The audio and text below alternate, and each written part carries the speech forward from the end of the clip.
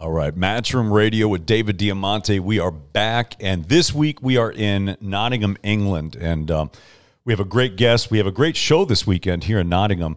Um, before uh, we start, real quick, I just want to say thank you for all the love and support. I've, I've been out for a couple of months, um, had a, a, tough accident, um, got through it, getting through it, and um, happy to be back. So it's wonderful to be here. And like I said, we have a big show, the WBA Featherweight Championship of the World. We've got Lethal Leigh Wood against Irish Michael Conlan. And the gentleman today that we have as our guest, um, Mr. Russ Anber. First of all, hi, Russ. Nice to see you. Listen, it's, it's great to have you back, Dave. And I, I wish that the people would have had a chance to see the pictures that you were showing us in the elevator because that really puts into perspective your comeback and uh, that you're here today doing this, you know, because that was, uh, I mean, some of the pictures you showed, uh, Conlan when he uh, turned his head, you know, it was uh, was quite scary what you were through. So it's good to have you back, brother. Thank you, brother. I appreciate that. And uh, I just want people to know that I have not posted those pictures online because I just thought it's, I wanted to stay positive. No, that's I, fine. I, I didn't want to be gruesome, but um, the accident happened and I am back quickly. I am a resilient guy. I believe in the power of, uh,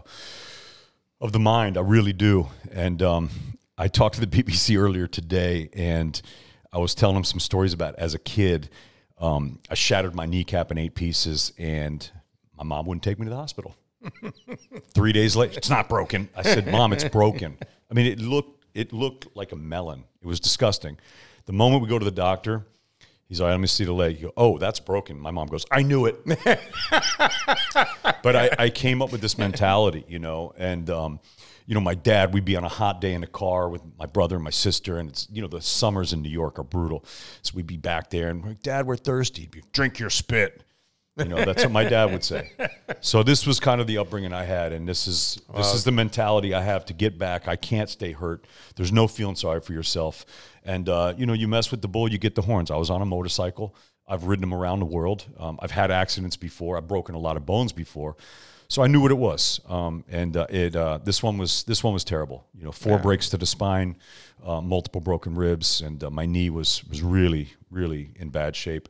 Yeah, I saw that too. That was uh, that was graphic. Yeah, so it was it was tough, but um, and, and I'm still in pain, but I'm getting through it, and uh, I'm really happy to be here, and I'm really happy to see you. For the fans out there today that don't know you, Russ, you wear a lot of hats in this business, and you've been in this business for a lot of years.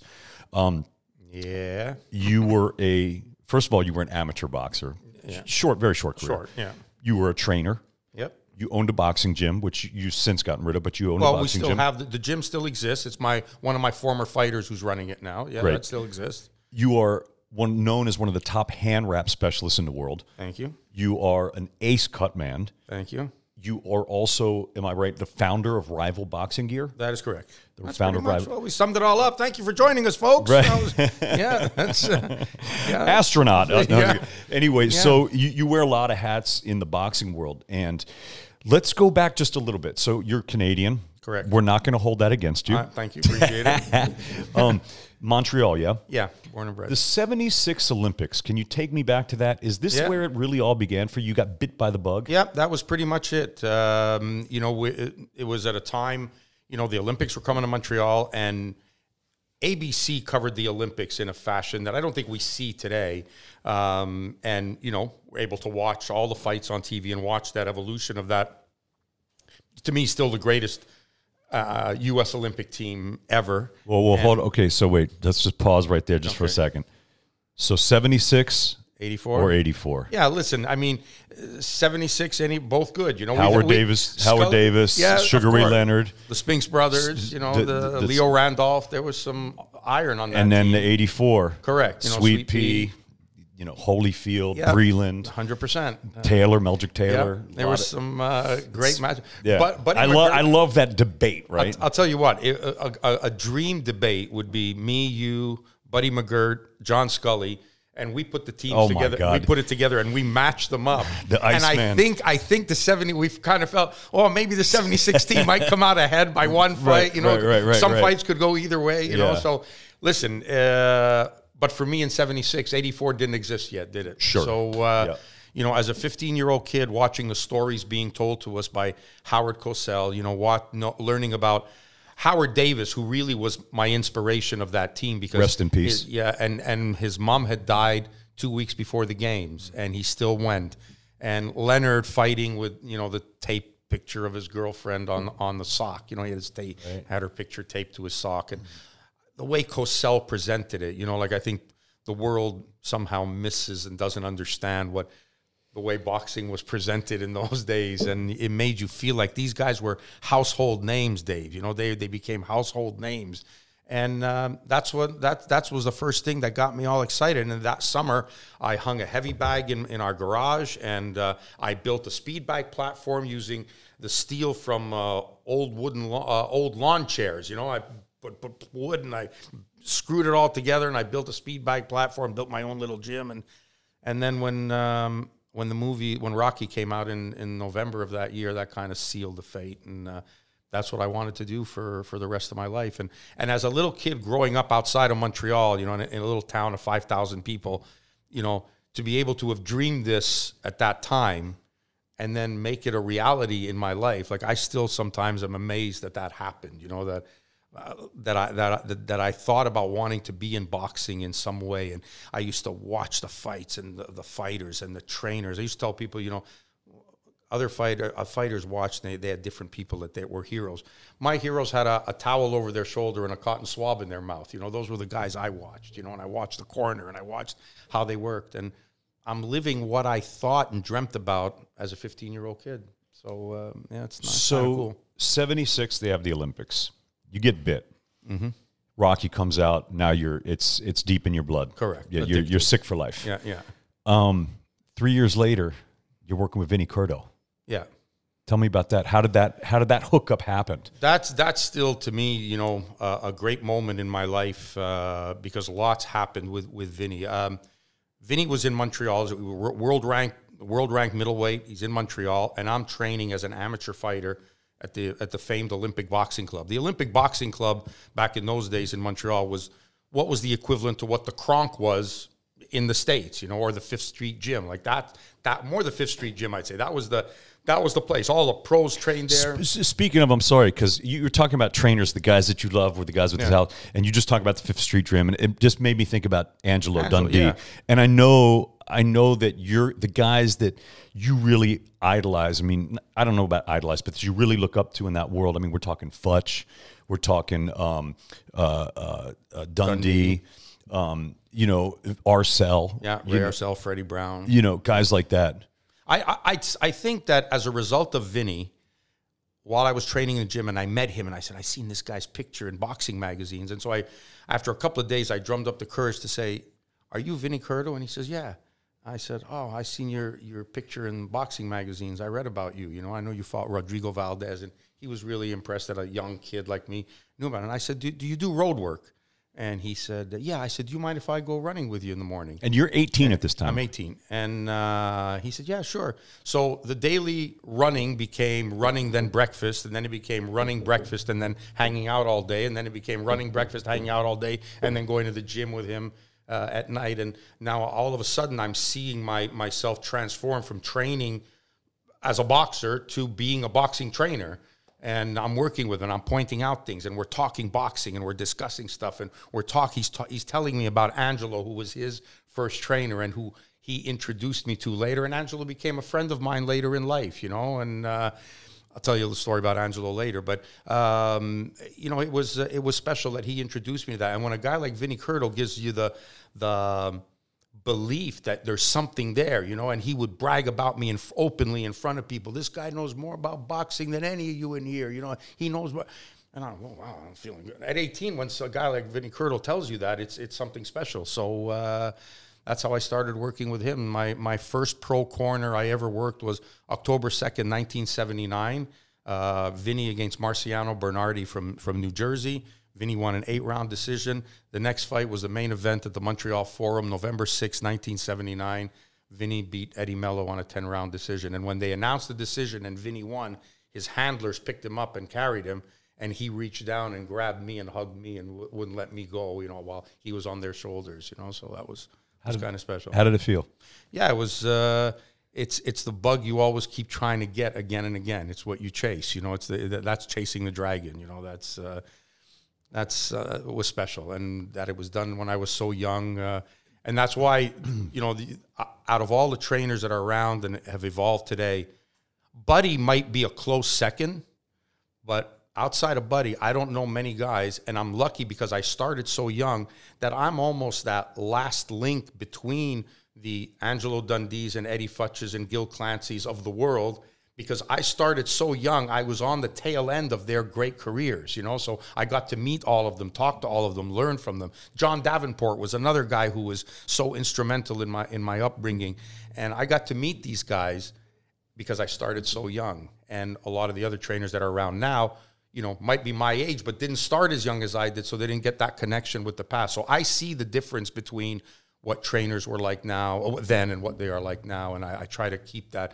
some of those old traditions alive uh, including wearing a tie when I work the corner so that's the it's funny I was going to ask you about your about your your attire because uh, attire tie you're, you're always wearing a shirt and tie which which I appreciate but I'm wondering is that it's part of the old school part of the work ethic yeah like you the know I saw pictures I saw pictures of Bundini Brown back in the day and some of those trainers wearing wearing a tie in the, in the corner and I thought it was respectful to the craft. You know, it was, an, it was, and I thought that the boxers deserved that. That I, sh- I should show a little respect to the sport, to the dangers it possesses, to the courage that it takes for the guys to do it. And so when I show up, I show up like we're a real organization, and uh, we're proud to be here, and I respect what I'm doing. I mean, I don't know if people know who you've worked with in the past, but I mean, we could just go through a, a massive list of people from Jean Pascal and Eleider Alvarez, Alexander Usyk, uh, Loma. Lomachenko, yeah. um, so many guys, Sergio Martinez, yeah, yeah. Um, you know, Mick Conlan. Um, let's talk about let's just talk about Mick Conlan just for a second in this fight this weekend. Um, your role is cutman, yes? Yeah. Okay. Yeah. Um, Adam, he's training with Adam Booth. Yep. Um, what are you taking from this weekend here in Nottingham? What are you taking from this fight? He's obviously fighting Lee Wood for the regular uh, version of the WBA featherweight uh, strap. Thoughts? Um, look, I I, uh, I like what I've seen this weekend because uh, I've been with Mick since very early in his career, and the the the meeting happened a little bit by accident, Dave. If, if, truth be told, um, when when Conlan came out of the Olympics and with all the controversy, as you know, you know, getting robbed of the decision against Nikitin, you know, giving the finger to the AIBA officials, that whole bit. I made a pair of boxing gloves and sent them to Mick. And he thanked me on Twitter and he appreciated it and the whole bit, and that was really nice. Fast forward ahead a couple of years, he's in Vegas fighting, and he's there with Adam Booth and Jamie, his brother, and uh, they're looking for a cut man. So they asked me if I could do that, and I did and great fight. He won. He stopped the guy in the seventh round. Everything went well. And after the fight, right away, Jamie came and paid me. And he put the money in my hand. We shook hands, and I and I left the dressing room to go back to my other dressing room where all my stuff was, because I was working with another fighter on that night. And when I got to the dressing room, I, I I looked at the cash that he had given me, and I said, "Well, this is too much. You know, he's he's given me too much. It was a relatively easy fight. I didn't have much to do. You know, it was great to to meet them. So I went back to the dressing room, and I gave him back some of the money." You know, and I said thanks, but it's okay. You gave me too much. That's really nice of you.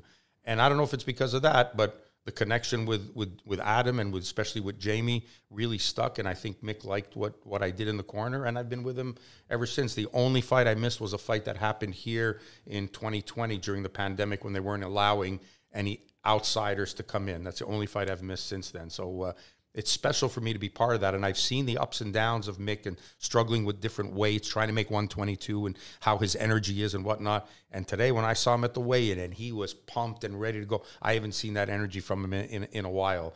And um, I like where he is. He's in a good space. And look, listen, I know, I know that Wood's, Wood is going to be a tough fight. You know, uh, he's a he's a good fighter. He gained a lot of confidence in the Xu Can fight.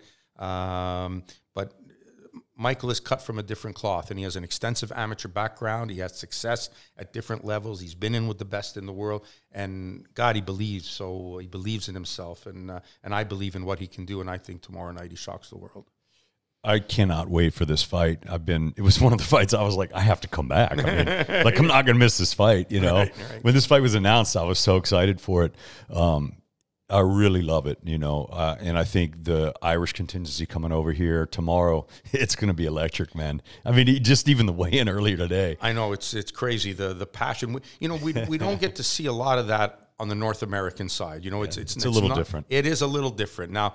Um, Montreal, we get that. Those are the kind of fights we get. Like they're they're arena fights for fight fans. You know, they're they're they're not for the corporate. They're for the fight fans. And so I I grew up in that kind of mentality of home guy selling tickets. You know, the other guy coming in from out of town, bringing his team with him. I you know I've seen that. So it's very similar, but uh, this this happens consistently and has happened consistently in the UK. And it's a it's they're cut from a different cloth in the way they present the boxing here, and it's part of the the sporting culture. It really is part of the sporting culture all across the country, and uh, it's something that's that's missing in North America because it, North American promoters seem to have stopped doing that. They got site fees from casinos and they got tev- re- uh, TV revenue from televisions. They forgot about promoting fights. They forgot about selling tickets. They forgot about making it part of the community and local sales. You know, and uh, and that's you get a different vibe at fights in North America than you do when you when you come over here to the UK.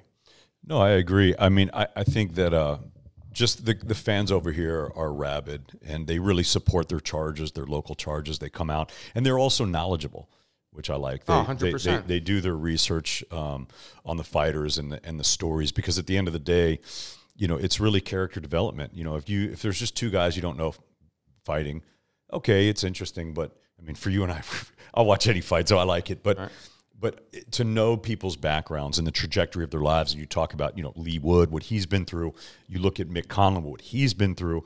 These guys are carrying a lot on their shoulders. There's a lot more than than this than, than the strap. Okay, there's a lot more than the strap. The trajectories of the rest of these gentlemen's lives lay in the balance of what happens tomorrow night at the Motorpoint Arena. It's it's going to be it's a very serious thing. Yeah, it is absolutely, and and and you know, Mick's been dreaming of this since that bad decision at the Olympics. He wants a wanted a world title and uh, got the shot now. You know, so and uh, and you know when you're ev- whenever you're in the spotlight you know this you get a lot of people that love you and you also get your haters and i know mick's heard both so he wants to put that to sleep you know he wants to he wants to win that world title of course he does. Of course, you know and and you know talking about the olympics i mean you've covered what six of them Is that, Uh, if- yeah, six. Yeah, that's right. that's another thing that you do that i don't know if people know you're a great commentator Yeah, well, thanks for that. Thanks. That's I've been doing that since 1988. Uh, my last one was uh, was London. That was the last one I covered. Uh, Canadian box uh, broadcasters started using the generic feed for any for Olympics after that because we didn't have any performance on the Canadian squad. But I go back to when Canada was ranked 10th in the world and we had Lennox Lewis and Egerton Marcus and Raymond Downey winning medals and you know we were on the podium uh, back in those days. So uh, I was fortunate enough to do that and uh, I did six Olympic games. It was nice. speaking of Ca- canadian boxing um, i know you work a lot with Marc Ramsay Yeah. Um, man, what's up with him in light heavyweights? It's, it always seems I to be light crazy. heavyweights. I- I What- what- what's up with him in 175 pounders? I don't know. I don't know what. I don't know why it's that. And he He, gets. uh, he gets seems to ones. really like that Yeah. that that, that that division. weight class. Yeah, Yeah, it's. Uh, but really seems to have brought a lot of shine. Former hockey player, right, Marc? yeah, Marc played hockey. We all did. Well, you know, yeah, Cana- yeah, Canada, obviously. playing hockey. Uh, But he was pretty serious about it, I think, right? I think didn't he go to, to the boxing gym just to kind of stay in shape, maybe in the off season, and he got bit by the bug. Uh, I know he went in and, and started boxing as an amateur, so I don't know what his career was developing like as an amateur. Yeah. He was also into heavy metal music. Right. Was really into that kind of stuff. Okay. And, uh, and then boxing got him, and uh, Yeah. we teamed up uh, just before the Olympics in Greece. He started tr- using my gym to train his fighters at, and when he made the decision to turn pro, he asked me if I would be the the cut man for for his team, and that was kind of when I made the decision that I was kind of getting out of my, you know, coaching career and going to the gym every day like I used to, to just having to go to camps and work with fighters specifically for fights, and that was that was more fun. I enjoyed that time, especially with with Marc and uh, and Jean Pascal getting ready for for fights and going away to training camp. Roy Jones would be with us, and I enjoyed camp. I enjoyed doing those kind of things, and I did that with Wilder for five years as well. Is it true that you've decided to kind of step away a little bit from the trainer uh, circle because of family? You want to spend more time with family, and Yeah, it's just too time consuming. You know, it's Yeah. just too time consuming to do it. You know, run the business, and also it's it's unfair to the fighters. If I would be doing that, it would be unfair to them because of the number of fighters I'm working with now Sure. as a cut man and being on the road so much. So it wouldn't be really fair for me to do that. So I prefer that any of the fighters that I work with, if they want me to go into camp, I'm happy to go into camp with them, spend a couple of weeks, three weeks, four weeks, whatever it is. Uh, anywhere that's got a pool hall, I'm happy to go to and. Uh, you can go to camp and just work with one specific fighter at a time for a specific match. I like doing that. It's uh, it's where my time has come. You know, like uh, listen, I did the I, I was I coached for over thirty years. You know, every day in the gym at five thirty for thirty years. So, and I did what.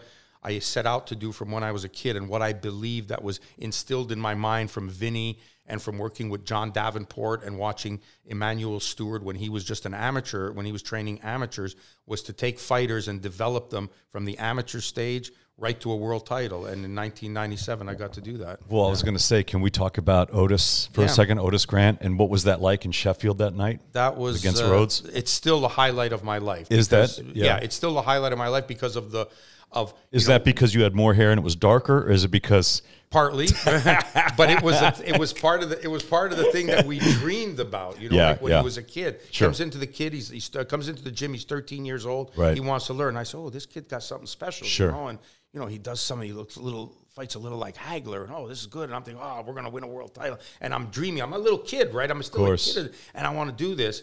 And uh, you know that was 1981 when I started training him, and 1994, 93, 94, he wins the a world title, and uh, Steel that City was special, you know, Sheffield. and that's something that I developed from the ground up, you know. And- Absolutely. And, to prove it wasn't a fluke, I did it again with Lemieux, you know, Right, uh, right, from sure. The ground up. uh.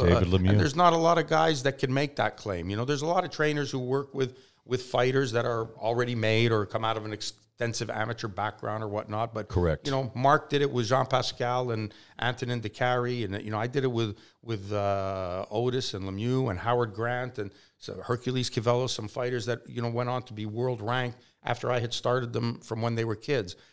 But now I got to a point in my life where there's not enough years now to be developed to have time to develop these guys. So I preferred the transitional role of going in as a as a cut man, and the and the guys who use me understand that I bring more to the corner than just a cut man. You know that I am still a coach at heart. I'm still a trainer at heart. I see things in the corner that others don't see, and I can share that with the coach. And I can, when I scream an instruction, it comes from a good place.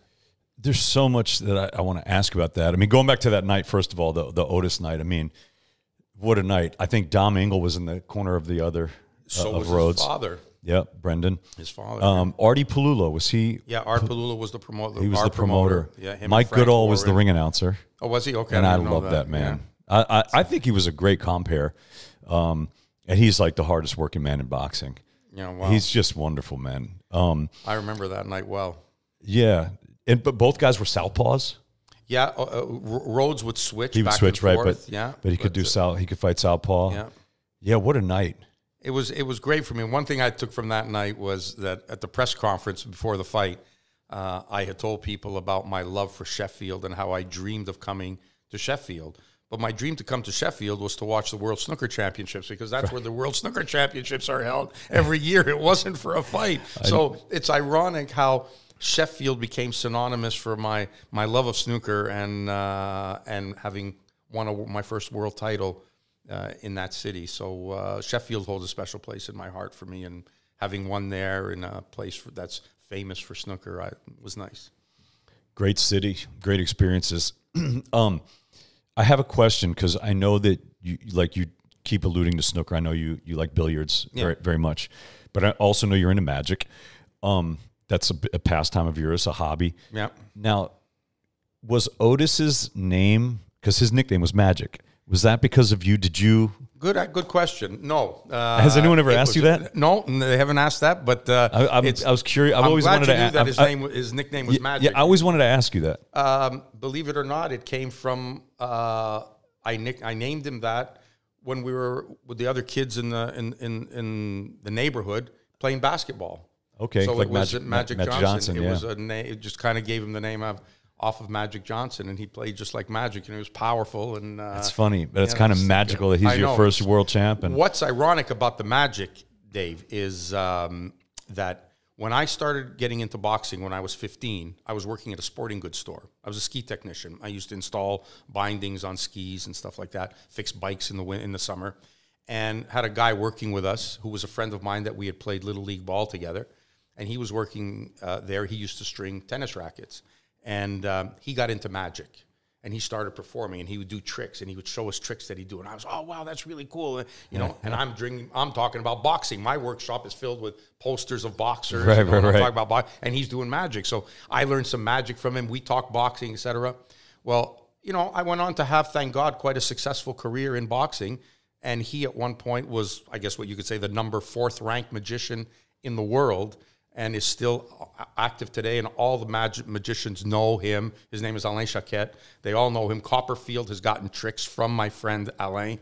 And the irony of that is that we were two kids from a really small town, 5,000 people. We had a dream of wanting to do something, and we became among the best in our field in the, in, from a dream that we had as, as kids. And uh, that's kind of crazy. Like when you look back on it, now that I'm 16, I look back on it as a 15 year old punk kid. You know, I wanted to be in boxing. This guy was doing card tricks. You know, I wanted to be a magician, and we became, you know, we went to the apex of our of our of our sports and our, our trades, which is kind of cool.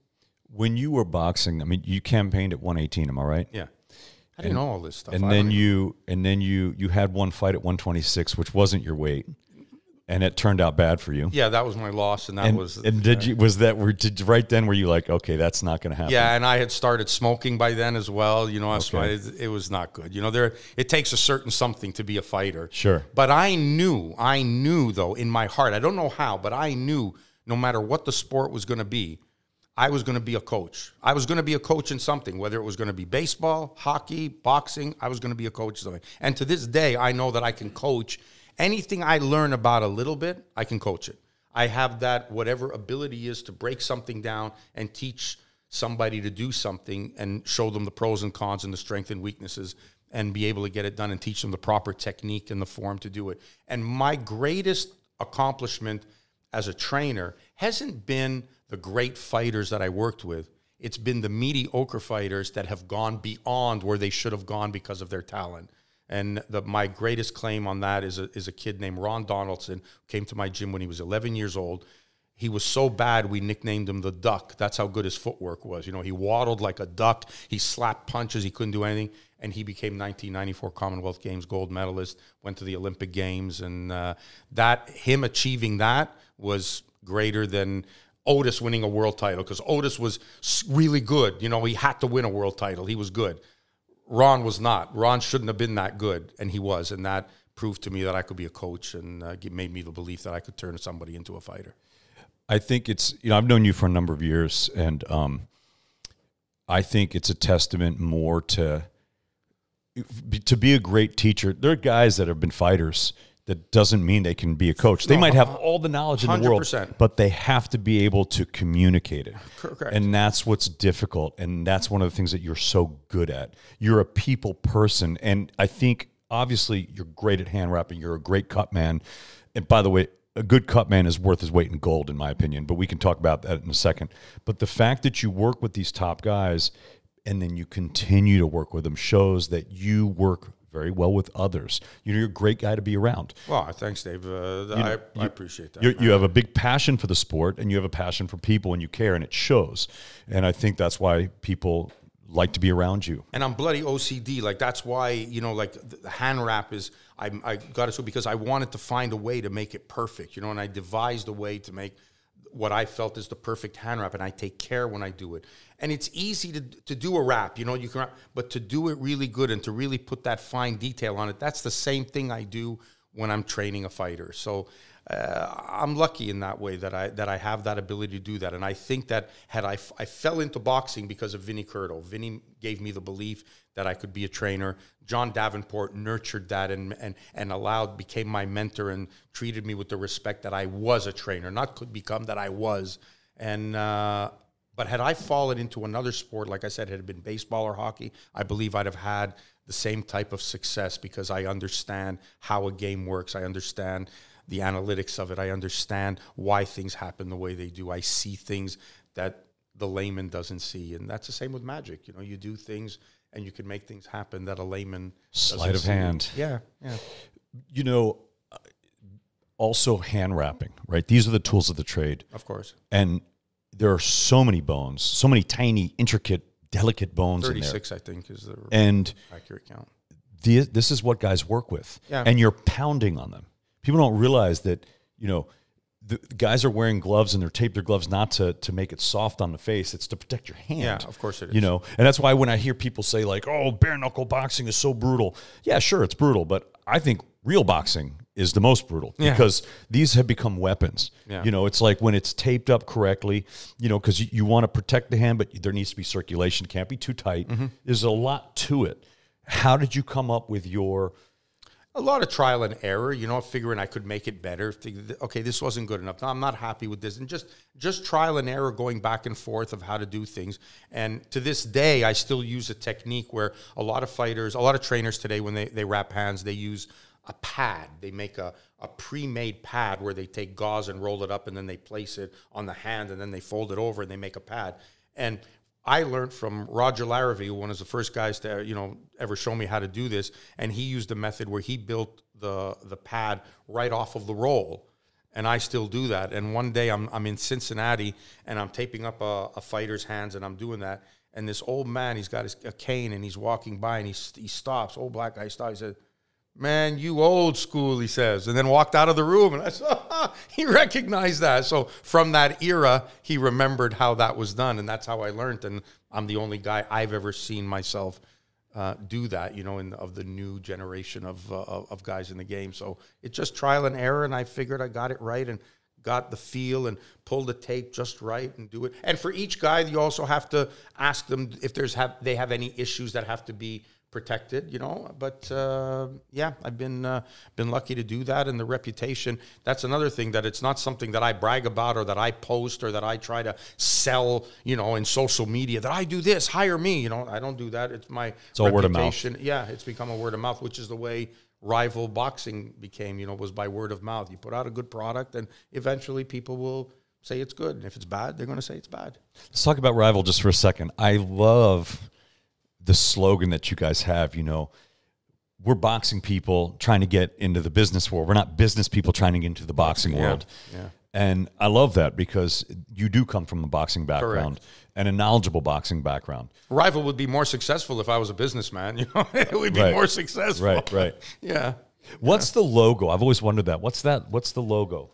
Well, if, if I could show you, but basically, if you if you turned it upside down, you I mean, maybe you Is it just the outline, the here. tribal of the gloves? N- No, it's uh, this is the tip of the maple leaf, right? That's the Ah, maple leaf upside down. okay, right? okay. That's the maple leaf upside down, and the R on each side when you put them together. One R is for Russ, and the other one is for rival. So that's how it kind of came. It's Canadian, and uh, that's kind of how we did it. So I've always wanted to know what that was. yeah, it was just Yeah, a 'cause little I've seen rival gloves. A lot of guys wear them. In Yeah. fact, okay, so hold on. There's a funny thing that happened with us, Okay. but it was also a great night for you and your company. I know what you're talking about. Yeah, Gassiev and first time you pushed me and wanted to pick a fight. and- I, Okay, I, I did. It's true. Yeah, yeah. It's true. I was gonna say, you gotta tell that I- I, felt terrible, man. I, you know, Yeah. we were in Russia. We were in Moscow, Yep. and um, undisputed cruiserweight championship of the world. the Ali Trophy. It was the Ali Trophy. It was uh, Alexander Usyk and Marat Gassiev. What a what a night that was. I mean, what a what an event. The fight actually turned out to be not so great. It kind of fizzled. You know, Alexander was just Dominant. he was dominant. But I mean, that was great. Like to be that to be that dominant when you weren't everyone. Lots of people picking Gassiev to win. yeah, Gassiev was punching holes through walls. Yeah. I mean, very strong fighter. He had a great fight with Dorticos, which is That's right. amazing down in Sochi. Man, that was a that was a great fight. Yep. super exciting. There, there was that was a great tournament. That was a great year. It was. But they both used rival gloves, Yes, they did.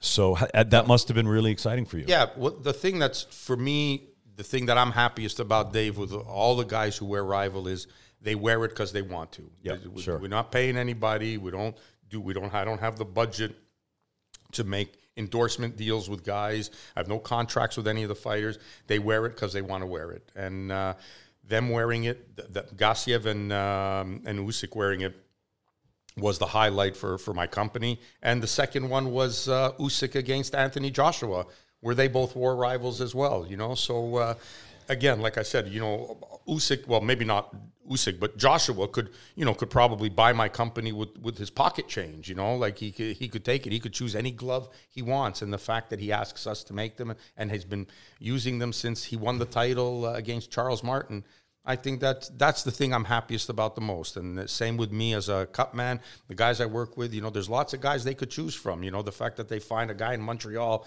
that it's because they they like me and they want me there. So I don't try to push myself onto people. I don't try to say, hey, please, can I be your cut man today? You know, I don't do that. If they want me, uh, you know, all they have to do is ask. And uh, I like to, I, I am I'm glad that I'm in a position in my life now where I can be selective as to who I work with because I wanna I want my beliefs and my character to be res- uh, to be reflected in the fighter that I work with, you know. And uh, I like the way Conlan conducts himself. I like the way Usyk and Loma conduct themselves. You know, their class, and that's the that's the image that I love for boxing, and that's what I want to see, and that's what I want to be associated with. Speaking of Usyk and Loma, have you spoken to them recently? I have. I spoke. I didn't speak to Loma. I spoke to his father, and I spoke to Usyk. Uh, you know, almost every couple of days, I send a message, and uh, you know, it, it's obviously just you know questions of you know be careful and are you okay and yes we're okay now you know and uh, but it's obviously not okay in the sense they're okay that they're not dead uh, and they're not No, it's- injured, but it's it's, not not okay. okay, Yeah, it's uh, not okay. how they are. So there's nothing okay about this. There's nothing okay about you know y one day you go to bed with a color TV, a car, your apartment, all your clothes, everything you have. You, the next day you have none of that. You're you're packing a, a suitcase and fleeing a city, and your building's being bombed. One of the guys that I I taught as to be a cut man, name is Sergey.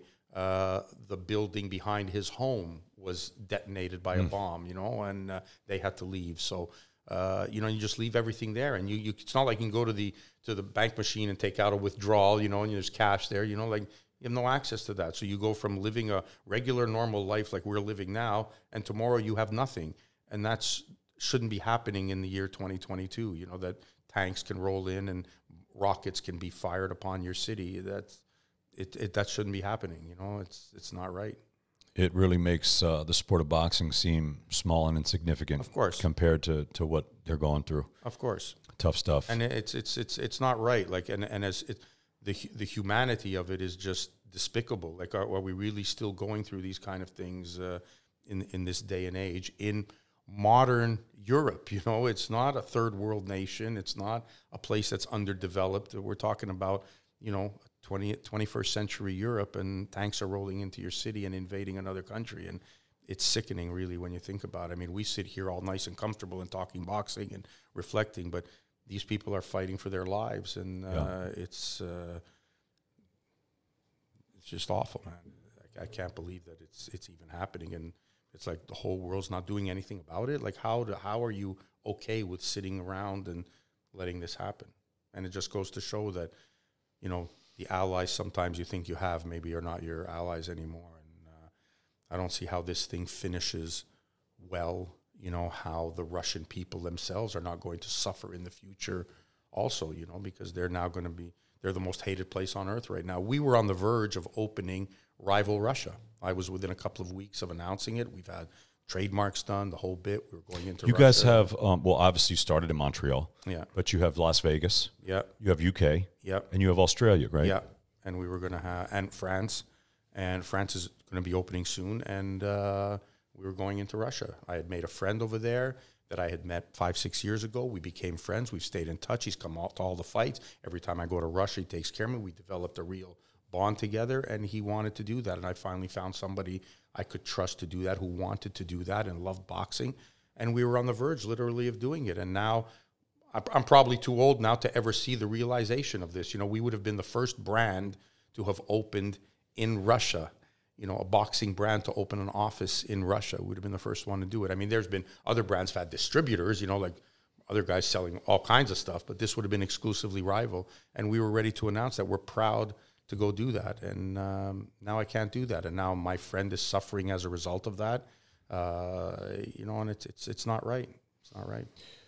Speaking of uh, going Didn't back, mean to be somber about that. no, it, it's a it's a terrible situation going on right now, and I think we need to talk about, it, especially that you work so close uh, with these fighters, and, and I'm also close to those fighters, Yeah. and we all care about them. Of course. Um, so it's it's you know hoping for the best. Um, but going back to friends that you talked about before, uh, you were talking about Buddy McGirt a little bit before. I, I mean, you know, one of the great trainers, one of the Mm-hmm. Yeah. great guys in boxing, 100%. Um, hell of a fighter and a hell of a trainer. Yeah. he honestly is a hell of a trainer. Um, but I'm wondering, you know, because you have worn so many hats in this boxing business, like we've talked about, and your role now, whether it's a hand wrapper or whether it's a cut man, it's not trainer, but yet you do know a lot and you were a trainer for a long time. So, what is it like to be in a corner and you're seeing something, but you don't want to overstep your I overstep. you overstep. I, it. overstep. If I see something, I overstep. That's it. I Uh, remember yeah. hearing some story where you you you told Buddy something and he and he went straight told his fighter. You were you were actually you were actually the ring announcer that night. It was in New York. Uh, Isaac Chilemba. Oh, wow. Was fighting. Okay. Uh, it was on. A, I think it was on a DiBella show. Okay. And uh, you were the ring announcer, and we're sitting down there, and this was one of the first times I'm I'm working with Buddy. And uh, I told him something. He went upstairs, and then I realized, okay, he's listening to what I'm saying. Right. And the way I got it, what Buddy also did something else for me, which was really great because it opened up a door for me. Was here in Manchester. Um, I was here with Chilemba and uh, and Buddy, and Joe Gallagher asked uh, Buddy if he would come and wrap Anthony Crolla's hands. Okay. And Buddy said, Joe, he says, you know, I do a good wrap. He said, but I'm not even doing Chilemba. He says, this guy's doing them. Yeah, he's not. Yeah. He said, "Would he do? Would he do? uh, would he do?" And I did. on. And uh, Crolla was the first UK fighter's hand that I that I ever wrapped. Million dollar And I always, yeah, and I always, always, I always tell uh, Crolla he's the first guy. And uh, as a result of that, you know, I got to work with with with Callum Smith and Liam and and all of Joe Gallagher's guys because of of that. And Callum became the second Ali Trophy winner that I was in the corner. So I was in the corner for the first Ali Trophy win and for the second Ali Trophy win. So uh, That was a great night. Special. And I was there too. Obviously, I announced it, and that that fight was the very first boxing match ever in the Kingdom of Saudi Arabia. That was a great. Wasn't that a great experience? It was a great I- experience. I loved it. It was great, and and and for Callum, you know, you talk about those moments when, like, you know, Otis Grant when he won his title, and these great moments that you had when he, when Callum Smith, you know, coming from that family of the four fighting Smith brothers, you know, proud city, Liverpool, you know, such a fighting history. When he won that title, and to be able to announce it and watch him, the glee, the joy, like this. Oh man, it was wonderful. Well, there that was another example, and Crolla could Crolla's my my living proof of this. So if he's listening to this, he's he's the living proof of this. This is no word of a lie. Um, he's in the corner with us, me, Joe, and him, and the fight's going on, and and and Callum is having good success, but it, it's he can't get he can't get Groves in trouble. You know, like he's he's throwing the right hand, and Grove typically you know rolls with the right hand and comes back with his own right hand. And I'm watching this. I'm watching this. He comes back to the corner, and before you know, we get mouthpiece out. Before he goes out for the next round, just to get his attention, I slapped him with an open hand right on his chest. I slapped, pop, pop, pop. I said, "Throw the fucking left hook. Throw the left hook." He went out there, threw the left hook, knocked out George Groves. all she wrote. And and and Crolla says, "Russ, you called it, mate. You called it, mate."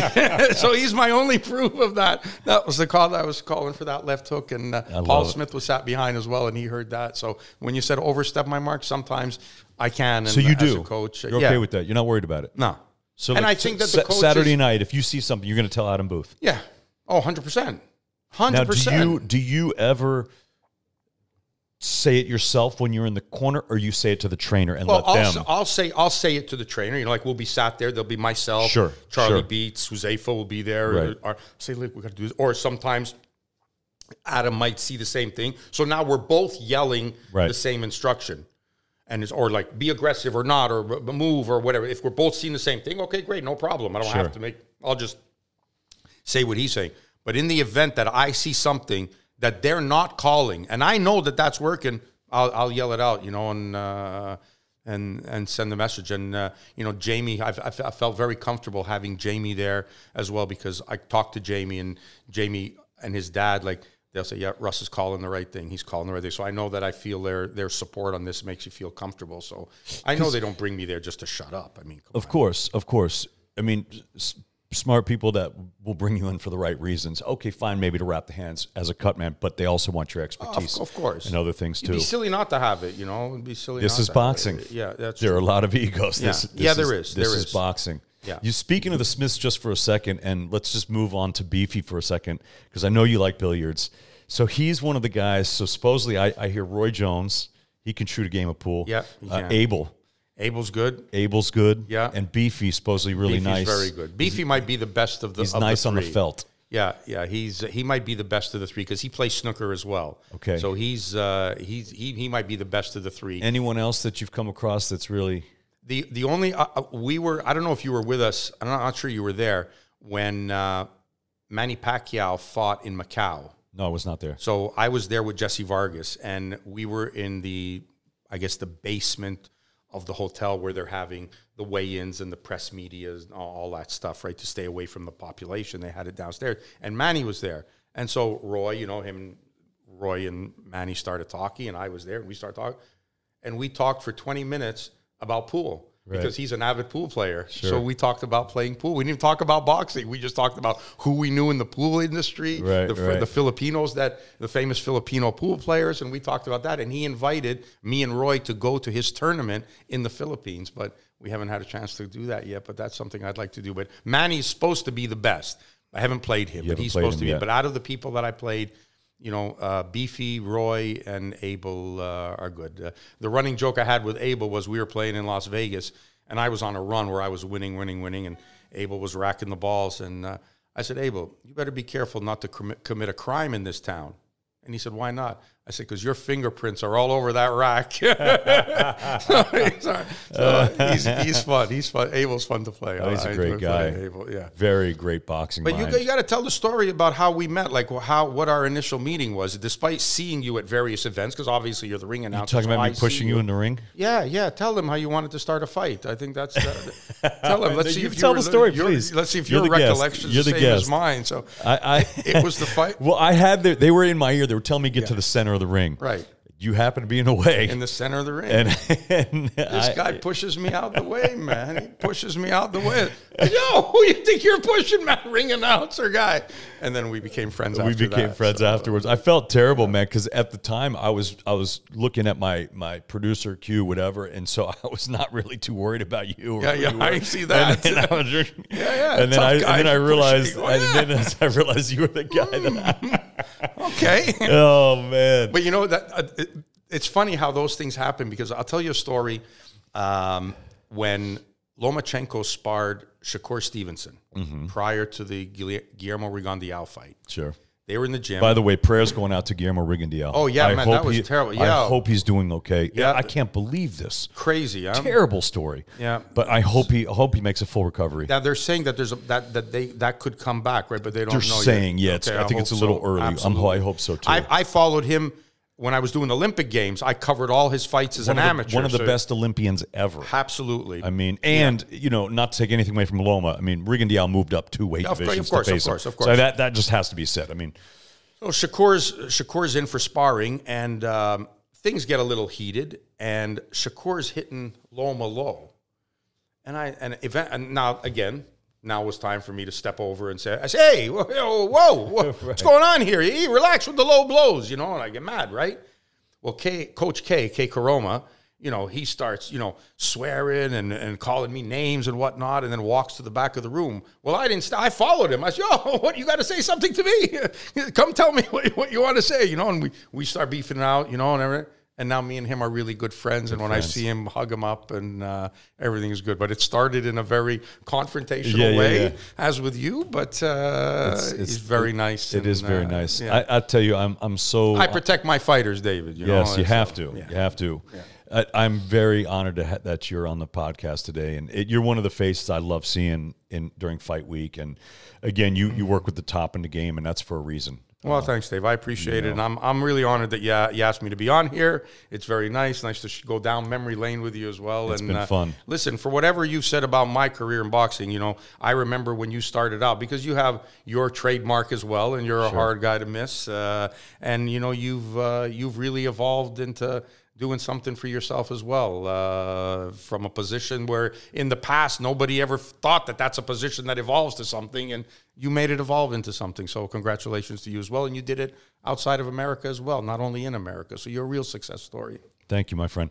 So before we leave, because my producer Jamie over here is he's so upset. Hey, are he- we over the time i'm sure Oh yeah, and and he's been waving at me, and I've been acting like I'm not seeing him, but he's. Like, i'm not seeing He's him like, okay and I've got great peripheral. okay So I've seen every wave that he's done, and I see him getting redder by the sorry minute. brother but would you answer a couple fan questions? Yeah, of course. Okay, Well, great. Why not?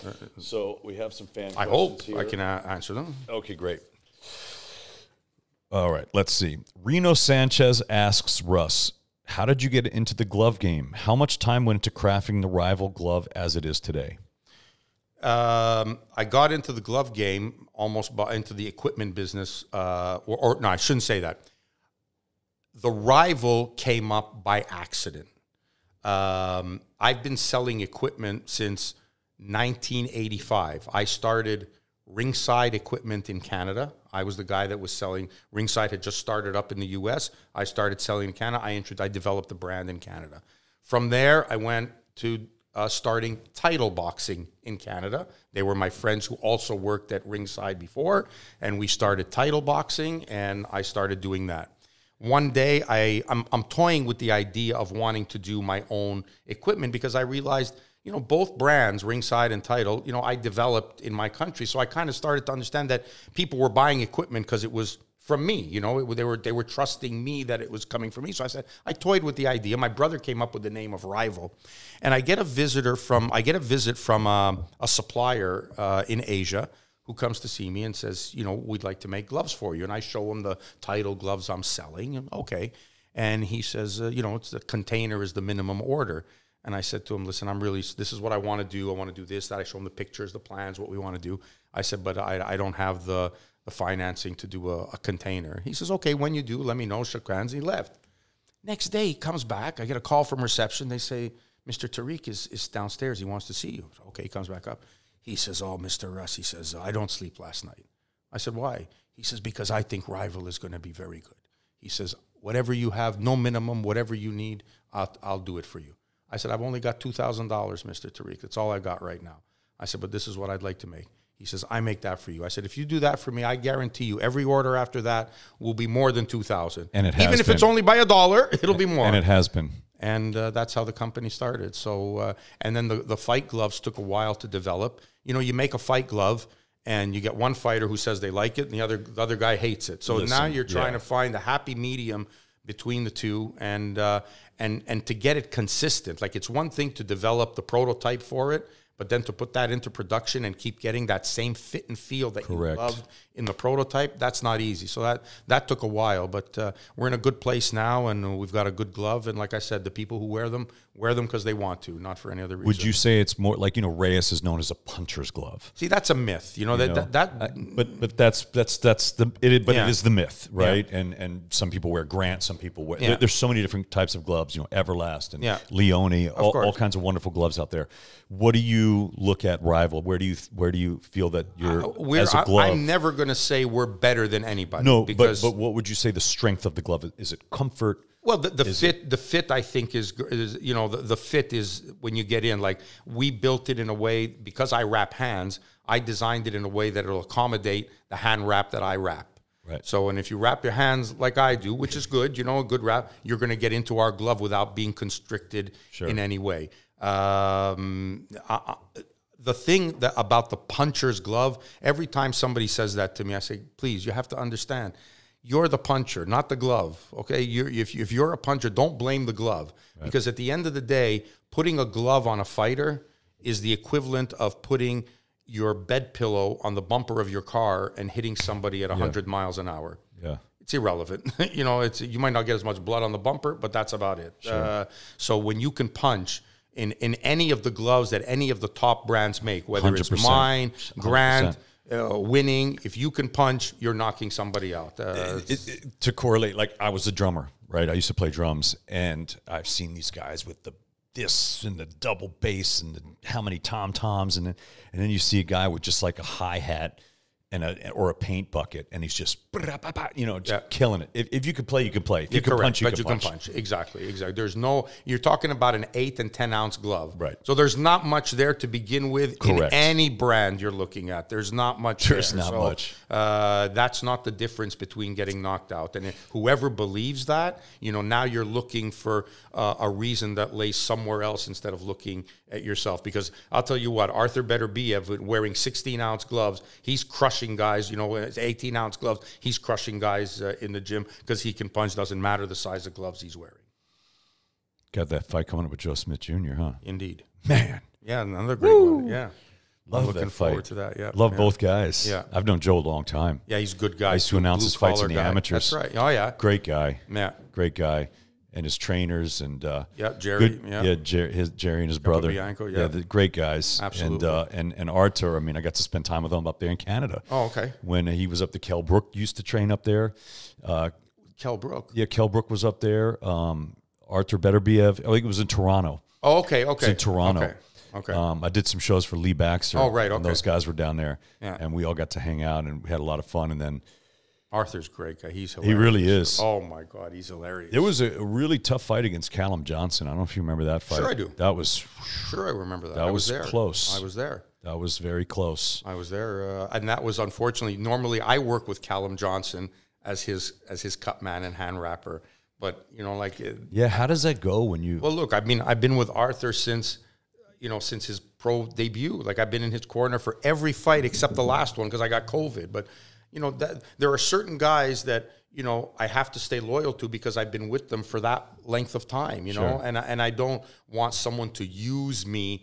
Just to say, oh, we're going to use him because I won't do it. I just No, of course the corner. not. I Of hate course. that stuff. So Of course. I won't do that. Uh, but uh, in in this case, I, Callum, I work just every now and then. If I happen to be in the UK, if Joe had me, I would. But well, I was going to say because Callum was at Joe's gym. that's right. He was Well, with Joe Gallagher. correct. And I worked his corner when he fought Carpensi, I Mm-hmm. believe. uh, You know, in New York. Okay, I was there. He used me, no problem. But it wasn't like an everyday thing. So when the fight Sure. got announced against Callum Johnson, what, what could I do? Yeah, you know, you're with I- I Arthur. gotta- I'm with Arthur. He's You my know, guy. he told Arthur when I announced him. He told me because I I'm very specific about asking about names and pronunciations, and he told me Baturbiev. So that's what I say. Yeah, but most everyone says Beterbiev. yeah. My friend says, better believe. Yeah, better believe. Better believe. Yeah, but it, uh, uh, yeah, I guess the North American pronunciation, if we read it as we would, you know, phonetically, it's uh, Beterbiev, you know, works. Sure. better Beterbiev. That's what he told me, so I it's a question of where the accent is on, right? Sure. So, so Speaking it, of you, you obviously you speak English. You speak French. very- yeah, it's very- I speak, French. English, French, and and you do speak Spanish. you Spanish Spanish too, yeah. Un poquito, yeah. poquito. When it comes to when it comes to boxing, I'm very comfortable to speak in, in Spanish. Sure, sure. And ordering food, I'm good with ordering food. That's There you go. That's important. okay, uh, before my uh, producer has a has a heart attack over here. Okay, next question. Peter underscore Davies sixteen asks Russ, do you agree with the general consensus that it's a Wood KO or Conlan points this weekend? No, I don't. I don't, I don't think so. I think uh, in both cases, uh, I think I think Ben Davison was right. He says we could win on points or we could win by knockout. Yep, they're very good. You're right. We could. Uh, both of both of them could. So uh, I don't think it's a consensus that. I don't think Woods can only win by knockout, Right, and I don't think that uh, Conlan can only win by by points. You know, uh, I think it's a very very more evenly matched fight than than people think. I do Uh, too. That's why I just I'm made up for this fight. I think uh, people might be underestimating Mick Conlan. Final question. David Cartwright asks Russ, can you tell us any stories when you've been hand wrapping and you've had to start again from a protest from the opposition? Never happened. Never happened. And I will. Uh, Buddy McGirt, who I trust, but you know we weren't always close. As I, I worked against him when uh, with Martinez, with Sergio Martinez, and he came into the dressing room, watched me wrap for two minutes, and said, "I'm out of here." Yeah, just And, not, uh, yeah, got because nothing. he's he he knows that I'm not going to cheat, you know, Sure. and uh, I won't because that's the part of boxing that I hate the most. You know, I hate what happened to Billy Collins. I hate what Panama Lewis did to Luis Resto. You know, like I I hate that shit. I Assault in the ring. If you haven't I seen hate- if you haven't seen that movie, Yeah. everyone Assault in the Ring. so when I often when I'm with uh, inspectors or, or or the other camp, sometimes I feel the other camp comes in just as oh this is a free opportunity to watch Russ Anber wrap hand. It's like a free hand wrapping lesson. Right, that's right, that's right. the sense I get when they're watching me. I know they're not watching me because they think I'm cheating. Right. I because I have a good reputation. They're not watching. They're getting a free hand wrap lesson is what they're getting. You know, and that that pisses me off. You know, they get to watch that. And uh, the inspectors, I say, whether you're here or not, I'm wrapping the same way. I wrap the same way in the gym. I wrap the same way. I'm, I'm not going to cheat. I won't do that. And uh, I believe strongly in that. I mean, I know we have to watch, you know, okay, but uh, I don't I don't play that I don't play that, and so I've never had somebody have to ask me. They've tried to raise issues. Like we had a case where a guy says, "Hey, uh, you're using more gauze than you're allowed to. You're only allowed to use two rolls."